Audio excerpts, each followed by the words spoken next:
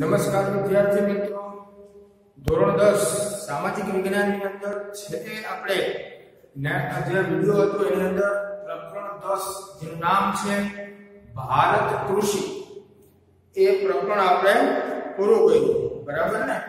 ત્યાર પછી હવે આપણે એક નવા પ્રકરણની શરૂઆત કરીએ તો એના પછીનું જે પ્રકરણ ભૂગોળમાં છે ભારત જળ સંસાધન એટલે કે અગિયારમું જે પ્રકરણ છે ભારત જળ સંસાધન એના વિશે આપણે વાત કરીએ તો ભારતની અંદર જળ એટલે પાણી એ સંસાધન છે હવે શા માટે સંસાધન એને કહેવામાં આવે તો પ્રકરણ આઠની અંદર આપણે વાત થઈ ગઈ છે કે ભાઈ સંસાધન કોને કહેવાય તો કે ભાઈ કુદરત પાસે તો હજારો તત્વો રહેલા છે દરેક તત્વો સંસાધન નથી હોતા પરંતુ માનવી એમનો આર્થિક વિકાસમાં અથવા તેના વિકાસની અંદર ત્યારે ઉપયોગ કરે ત્યારે એક કુદરતી તત્વ સંસાધન બને છે તો પાણી છે કે પાણીનો ઉપયોગ માનવી કરી અને પોતાનો આર્થિક રીતે જે વિકાસ કરે છે એટલા માટે પાણીને સંસાધન તરીકે ઓળખવામાં આવે છે આપણને વધારે ખબર છે કે ભાઈ પાણીની ઉપયોગની જો આપણે યાદી બનાવવા બેસીએ તો ઘણી ઘણી લાંબી છાઈ جاتی દાખલા ગર્ભપ્રવાસથી લઈ ઉદ્યોગોની અંદર અને ખેતીની અંદર છે આપણે પાણીનો સિંચાઈ તરીકે ઉપયોગ કરીએ છીએ અને એનાથી આપણો એમ કવાય કે ખેત ઉત્પાદન વધારી છે ઉદ્યોગોમાં પણ ઉત્પાદક વધે છે સાથોસાથ આપણો આર્થિક વિકાસ થાય એટલે પાણી છે એ મહત્વનો સંસાધન ગણવામાં આવે છે ગુજરાતીમાં કેવળ છે જળ એ જ જીવન છે પાણી છે તો બધું છે કોઈ પણ સજીવ્યક્તિ છે આ તો સજીવ છે એ પાણી વગર રહી શકતો નથી એટલે સૌથી મહત્વનું જે સંસાધન છે એ પાણી છે તો આપણે એના વિશે વાત કરીએ કે ભાઈ પાણી છે મહત્વનું સંસાધન છે અને ભારતની અંદર છે એ જળ સંસાધન છે એક મહત્વનું સંસાધન છે જોઈએ એમાં સૌથી પહેલા રસ્તાઓ સૌથી પહેલા શું આવે ટોપિકમાં રસ્તાઓ જોઈએ એમાં પ્રસ્તાવનામાં જળ છે તો જીવન છે રાઈટ ગુજરાતી કહેવત છે પાણી છે તો જીવન છે નહીતર જીવન શક્ય નથી જળ વિના પૃથ્વી પર કોઈ પણ પ્રકારના જીવનની કલ્પના થઈ શકે નહીં તમને બધાને ખબર છે કે પાણી ન હોય તો પૃથ્વી ઉપર કોઈ પણ સજીવ ટકી શકતો નથી બરાબર ને પાણી છે તો દરેક સજીવ છે એ વૃદ્ધિ કરી શકે વિકાસ કરી શકે કોઈ પણ સજીવ છે એને પાણીની જરૂર પડે છે પાણી વિના તે સજીવ છે પૃથ્વી ઉપર રહી શકતો નથી જળ સંસાધનનો કોઈ બીજો વિકલ્પ પણ નથી તેના ઉપયોગની યાદી ઘણી બધી લાંબી છે હવે આપણે પાણી ક્યાંથી મળે છે તો કે ભાઈ એના માટે બીજો કોઈ વિકલ્પ નથી પાણી માટે તો પાણી મેળવવા માટેનો એક જ સ્ત્રોત છે કયો વરસાદ કુદરતી રીતે વરસાદ થાય અને વરસાદ થયા પછી આપણને પાણી પ્રાપ્ત થાય બીજો કોઈ વિકલ્પ છે નથી કોઈ ઓ વિજ્ઞાન જ્ઞાની કોઈ ઉત્તર પર પ્રકારનું અંતવે કે રસાયણ નથી બનાવ્યું તો બે કેમિકલ મળતા પાણી જે ને અખ્યા સુધી કોઈ કોઈ પ્રકારનું કઈ શોધ થઈ નથી પાણી આપણે ક્યાંથી મળે ઉદ્રતી રીતે પ્રાપ્ત થાય છે ચોમાસાની ઋતુમાં વરસાદ થાય નદીઓ નાળા છલકાઈ જાય અને એ નદીઓના નાળાનો હું પાણી છે 90% પાણી ભૂગર્ભમાં ભૂમિગત જળ એટલે સચવાય અને એ ભૂમિગત જળનો ઉપયોગ આપણે પીવા માટે કરીએ છીએ અન્ય તણાંશ છે કેમાંથી દેહરો ભાગવામાં આવે સરોવરમાંથી દેહરો પાટવામાં આવે અને એનો ઉપયોગ આપણે ખેતીમાં સિંચાઈમાં કરીએ પીવા માટે કરીએ ઉદ્યોગોમાં પરવામાં આવે છે ને અને دریاમાં હુ પાણી જે મોટા ભાગનું પાણી دریاમાં જાય તો એનો ઉપયોગ પણ આપણે વિજ્યુ પંપવા માટે કરીએ છીએ બરાબર તો પાણી માટેનો એક જ વિકલ્પ છે વર્ષા એનો બીજો કોઈ વિકલ્પ છે ને પાણીની યાદી તો આપણે બનાવીએ તો યાદી ઘણી બધી લાંબી થાય છે સમગ્ર સજીવ સૃષ્ટિ પર જીવન ટકાવી રાખવા જળનો ઉપયોગ કરે છે કોઈ પણ દેશની સમૃદ્ધિનો આધાર તેની ખેતી અને તેમાં વપરાતા જળ ઉપર છે કોઈ પણ દેશ છે બરાબર એની સમૃદ્ધિનો આધાર શેના ઉપર રહેલો છે તો કે જો એ દેશ ખેતી પ્રધાન હોય તો મોટે ભાગે ખેતીની અંદર શું જોઈએ છે પાણી પાણી હોય તો જ ઉત્પાદન સારું થાય એ એટલે કે ખેતી અને પથવા તો જ્યાં ભરપરા કાજે પાણીનો વપરાશ કેવો છે ઉદ્યોગોમાં પણ પાણી જેવું પડે છે તો જેના ઉપર કોઈ પણ દેશની સમૃદ્ધિનો આધાર રહેલો છે જળની વિશેષ જરૂરિયાતમાં આપણે જોવા જોઈએ તો પીવામાં અને ઘરેલું કાર્યોમાં અને ઉદ્યોગોમાં આપણે વધારે ઉપયોગ કરીએ છીએ મોટા ભાગે આપણે પાણી પીવામાં અને ખાસ કરીને ભરપરાસના કાર્યોની અંદર પણ પાણીનો આપણે વિશેષ ઉપયોગ કરીએ ઉદ્યોગોમાં પણ પાણીનો સંશેષ ઉપયોગ થાય છે પરંતુ આજે દિન પ્રતિદિન જે વસ્તી વધી રહી છે તેને કારણે શહેરીકરણ પણ વધ્યું છે અને આજે શહેરીકરણ વધતા પાણીનો જે બગાડ થઈ રહ્યો છે ખરેખર એ ન થવો જોઈએ કારણ કે પાણીનો બગાડ વધતા પીવાલાયક પાણીનો જથ્થો દિન પ્રતિદિન ઘટી રહ્યો છે આ બાબતને ધ્યાનમાં રાખી અને જળનો આપણે પાણીનો વિવેકપૂર્વક ઉપયોગ કરવો જોઈએ એટલે ઘણા લોકો એવું લખતા હોય વાણી અને વાણી વિચારીને વાપરવા જોઈએ કારણ કે ફરીથી મળતા નથી અથવા એક વખત ઉપયોગ થઈ ગયા પછી એ ફરીથી એનો ઉપયોગ કરવો અશક્ય છે એટલે પાણી અને વાણીનો વિવેકપૂર્ણ ઉપયોગ કરવો જોઈએ જળ એ મર્યાદિત સંસાધન છે એવું છે મર્યાદિત તેના સ્થાને કોઈ પણ સંસાધન ઉપયોગમાં લઈ શકાશે કેમ જો જો પાણી ન હોય તો પાણીની જગ્યાએ આપણે બીજો સંસાધન વાપરી શકીશું નહીં જો જો પેટ્રોલ ડીઝલ ન હોય તો આપણે સોલર ઉર્જાનો ઉપયોગ કરી શકીએ પરંતુ પાણી ન હોય તો એને સ્થાને આપણે બીજો કયો સંસાધન વાપરી શકીએ હેપકોણ સંસાધન એટલે પાણી મહત્વનો સંસાધન છે એટલા માટે એનો વિવેકપૂર્ણ ઉપયોગ કરવો જોઈએ હવે હવે આપણે જે જે પાણી મળે છે એના છે એટલે જળ સ્ત્રોતો પાણી મેળવવાના સ્ત્રોતો જોઈએ એમાં પાણી છે આપણને મુખ્ય ત્રણ પ્રકારે પ્રાપ્ત થાય છે કેટલા પ્રકારે મળે છે ત્રણ પ્રકારે મળે છે બરાબર કયા ત્રણ પ્રકારે તો કે પહેલું છે વૃષ્ટિ જળ વૃષ્ટિ એટલે વરસાદ થાય અને પાણી પ્રાપ્ત બીજું પૃષ્ઠીય જળ એટલે જમીન ઉપરનું જે પાણી છે તે અને ત્રીજું ભૂમિગત જળ એટલે જમીનના પેટાળમાં રહેલું જે પાણી છે એનો પણ આપણે ઉપયોગ કરીએ છીએ તો આ ત્રણ રીતે આપણે પાણીનો ઉપયોગ કરીએ વરસાદ થાય અને આપણે પાણીનો ઉપયોગ કરીએ છીએ ત્યાર પછી પૃથ્વી ઉપર રહેલું જે કાંઈ પણ પાણી છે પૃષ્ઠિજળ એનો પણ આપણે વપરાશમાં ઉપયોગ કરીએ છીએ અને ત્રીજું છે ભુમીગત જળ પુષ્ટિ લક્ષણ આરા સુકાઈ છે ત્યાર પછી આપણે જમીનમાં રહેલું જે ભૂમિગત છે પાણી છે એનો ઉપયોગ આપણે કરતા હોઈએ તો આ ત્રણ રીતે આપણે પાણીનો ઉપયોગ કરીએ છીએ જોઈએ આમ આપણે પુષ્ટિ થતી છે પૃથ્વી ઉપર જળ સંસાધનોની મૂળ સ્ત્રોત પુષ્ટિ છે કારણ કે પૃથ્વી ઉપર જે કાયમ પાણી પડે તો એનું મૂળ સ્ત્રોત કયું છે વરસાદ વરસાદ થાય તો નદીઓ નાળા છલકાઈ જાય તો નદીઓમાં પાણી આવે એટલે મહત્વનું સ્ત્રોત કયું છે આ ત્રણમાંથી વૃષ્ટિ વૃષ્ટિ એટલે વરસાદ તો નદી સરોવર ઝરણા અને કુવા એ કોણ સ્ત્રોત છે નદી છે સરોવર છે કુવા એ બધા કોણ સ્ત્રોત છે કારણ કે ક્યારે ભરાશે જ્યારે વરસાદ થશે તો એટલે આ બધા કોણ સ્ત્રોત છે આ બધા સ્ત્રોત વૃષ્ટિને આભારી છે કેને આધારે છે વૃષ્ટિ એટલે વરસાદને આધારે છે બીજું આવે વૃષ્ટિ જળ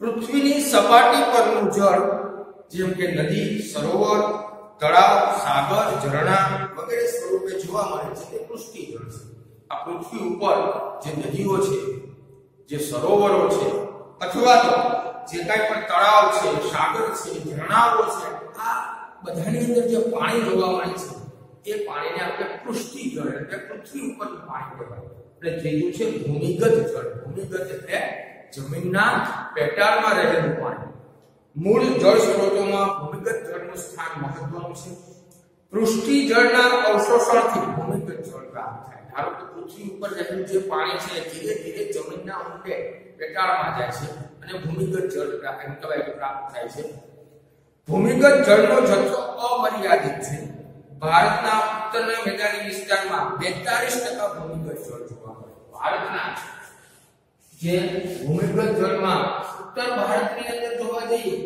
તો કેટલા ટકા ભૂમિગત જળ છે બેતાલીસ ટકા ભૂમિગત જળ જોવા મળે છે જ્યારે દક્ષિણ ભારતની વાત કરીએ તો દક્ષિણ ભારતમાં ઉચ્ચ પ્રદેશ અને પર્વતીય વિસ્તારને કારણે છે ભૂમિગત જળનું પ્રમાણ કેવું જોવા મળે છે ઓછું કારણ કે દક્ષિણ ભારતની અંદર પર્વતોનું પ્રમાણ વધારે છે ઉચ્ચ પ્રદેશોનું પ્રમાણ વધારે છે એટલે ત્યાં ભૂમિગત જળનું પ્રમાણ ઓછું જોવા મળે છે આ જે કાંઈ પણ ભૂમિગત જળ છે એનો ઉપયોગ આપણે સિંચાઈ માટે મોટે ભાગે કરીએ છીએ ખેતીની અંદર સિંચાઈ માટે હવે આવે જળ સંસાધન અને તેનો ઉપયોગ આપણે જે કાંઈ પણ જળ સંસાધન છે જળ સંસાધન અને તેનો ઉપયોગ એમાં સૌથી પહેલા આપણે સૌથી વધારે પાણીનો ઉપયોગ શેમાં કરીએ છીએ સિંચાઈ જે તેની અંદર જે સિંચાઈ કરીએ છીએ એ છે ભારત માં લગભગ 84% જળ સિંચાઈ માટે ઉપલબ્ધ થાય છે કેટલા ટકા 84% જે પાણી છે એનો ઉપલબ્ધ છે એ સિંચાઈ માટે કરવામાં આવે છે ધારો કે 1 કિલો ઘઉં ઉત્પન્ન કરવા લગભગ 1500 લિટર પાણીની જરૂર પડે છેndarray તાજથી 1 કિલો ઘઉં પૂર્ણ પરિવાર કેટલા લિટર પાણીની જરૂર પડે છે 1500 લિટર પાણીની જરૂરિયાત ઊભી રહે છે એ જ રીતે ડાબડ અને સણ શેરડી આ એવા પાક છે જેમાં પાણીની આધારિત આવશ્યકતા રહે છે પ્રાચીન સમયથી પાણીનો ઉપયોગ આપણે સિંચાઈ માટે કરતા આપીએ છીએ તેના ઉદાહરણો આપેલા છે કે ભાઈ કાવેરી નદીમાંથી જ્ઞાન એક એક નામે એક જાળી તો નહેરનું નિર્માણ છે એક બીજી સદીમાંથી કઈ નદીમાંથી કાવેરી નદીમાંથી ગ્રાન્ડ એનિકટ જે નહેર છે નહેરનું નિર્માણ કઈ સદીમાં થયું હતું બીજી સદીમાં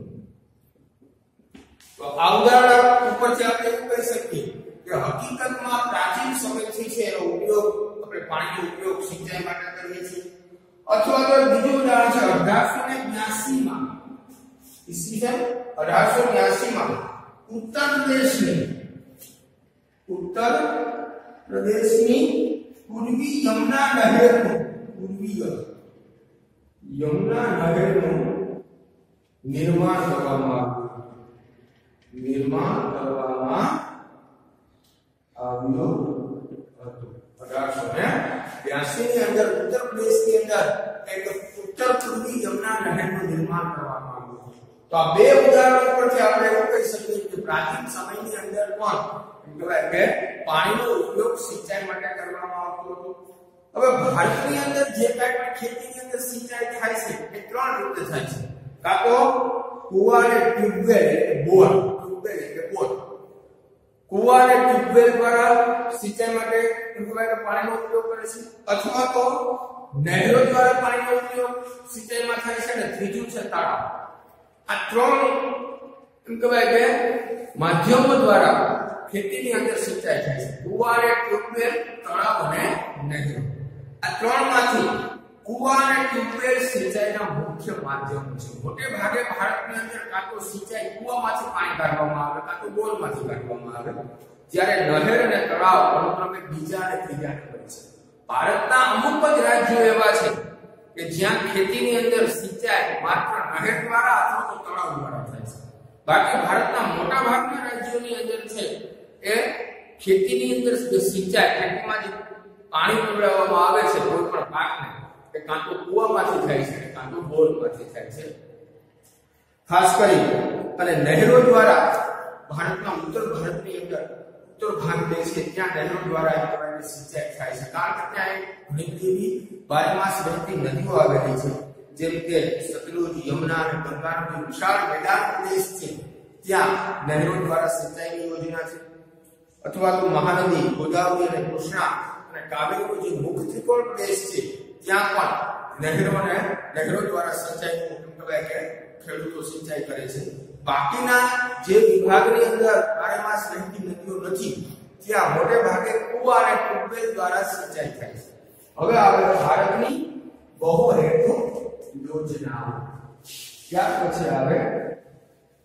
બહુ હેતુ યોજના હવે બહુ એટલે ઘણા હેતુ એટલે જે યોજના એટલે યોજના જે યોજનાથી ઘણા બધા ધ્યેયો નીકળતા હોય એને એ યોજના કહેવાય બહુ હેતુ યોજના ભારતની બહુ હેતુ યોજના જોઈએ ભારતમાં અનેક નાની મોટી નદીઓ આવેલી છે ભારતનું જળ પરિવહન સમૃદ્ધ છે અને એને કારણે શું કામ ભારતનું ભારતનું ભૂપુષ્ઠ એવા પ્રકારનું છે એને કારણે અને આ ભૂપૃષ્ઠને કારણે ભારતની જે કાંઈ પણ નદીઓ છે પોતાનું પાણી સમુદ્રમાં ઠાલવે છે આજ સમુદ્રમાં રહેલું પાણીનો ઉપયોગ અથવા તો કોઈ તળાવમાં થાય છે સરોવરમાં નદીઓ પોતાનું પાણી ઠાલવે છે આ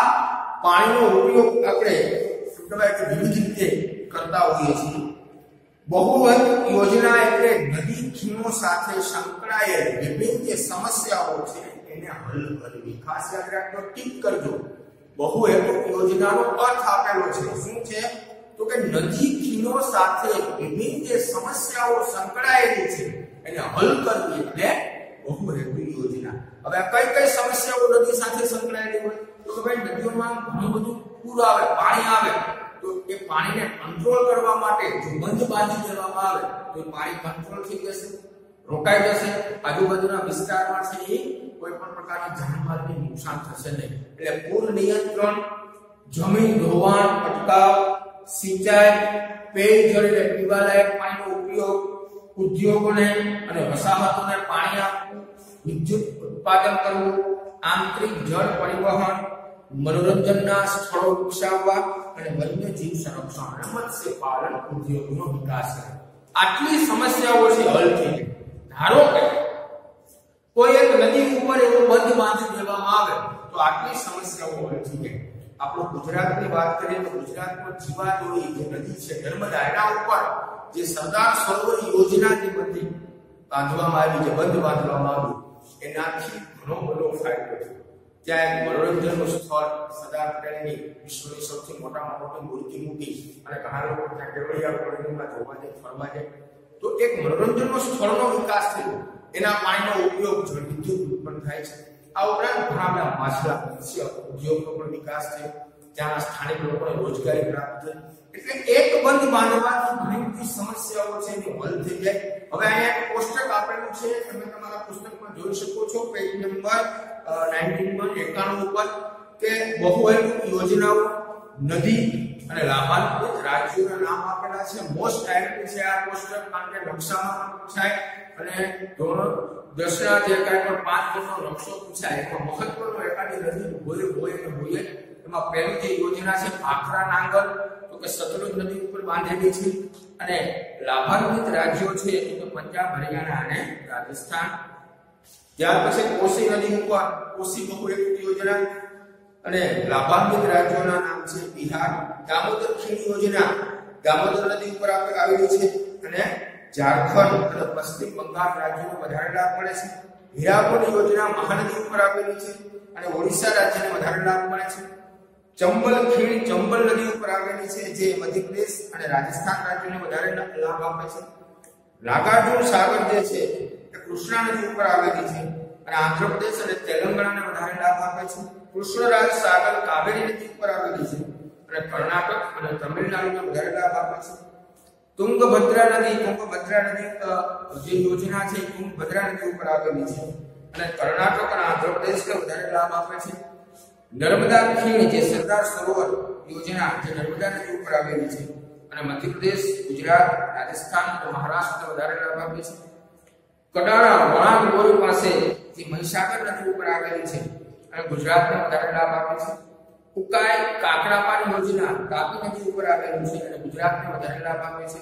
અને ધરોઈ જે સાબરમતી નદી ઉપર આવેલું છે અને સૌથી વધારે ગુજરાતને લાભ આપે છે તો આ બધી યોજનાઓ જે છે જુદી જુદી નદીઓ ઉપર જે બાંધવામાં આવેલું છે અને એના લાભ જુદા જુદા રાજ્યોને મળે છે આ જે વિડીયો છે એમાંથી તમારે લેસનની અંદર આ પોસ્ટર જે છે એ તમારે ફેસબુકમાં લખવાનું છે અને તૈયારી કરવાની છે કારણ કે આ પોસ્ટર મહત્વનું છે નેક્સ્ટ વિડીયોની અંદર આપણે વધારે વાત કરશું ત્યાં સુધી જય ભગવાન જય શ્રી કૃષ્ણ બધાને બરાબર